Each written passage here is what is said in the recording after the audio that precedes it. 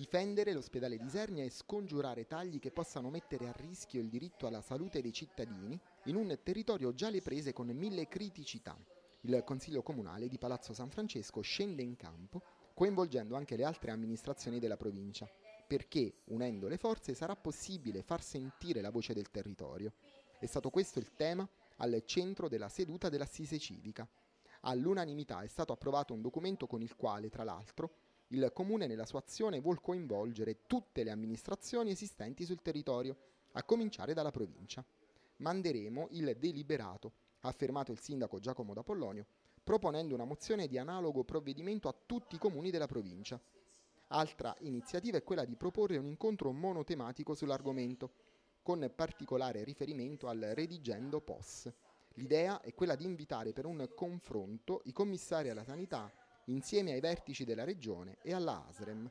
Diversi gli interventi che si sono susseguiti da parte dei consiglieri, che pur condividendo il documento hanno evidenziato la necessità di mettere in campo azioni più incisive per tutelare il diritto alla salute. Diversi gli aspetti esaminati nel corso della riunione. Dobbiamo renderci conto, ha evidenziato il consigliere di Luozzo, che il vero problema è rappresentato dalla carenza dei medici. La Regione Lazio ha avuto la possibilità di chiamare medici in pensione ed affidarsi alle società interinali per reperire personale. Se dobbiamo risolvere il problema dobbiamo farlo trovando personale. Diversa la posizione di Rita Di Pilla.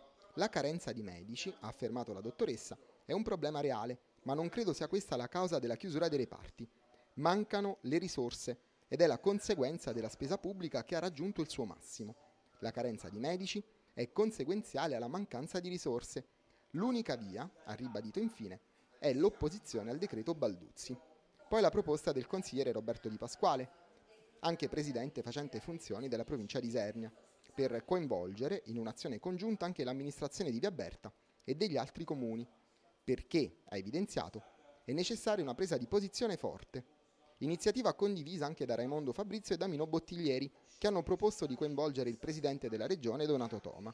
Il documento iniziale è stato dunque integrato alla luce delle proposte venute fuori durante l'assemblea ed ha ottenuto il via libera dei 24 componenti dell'assise presenti in aula.